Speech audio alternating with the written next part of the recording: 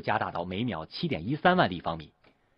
三峡大坝目前已经打开了七个泄洪深孔下泄流量从今天零点起加大到每秒四点三万立方米每秒拦截洪水二点五万立方米。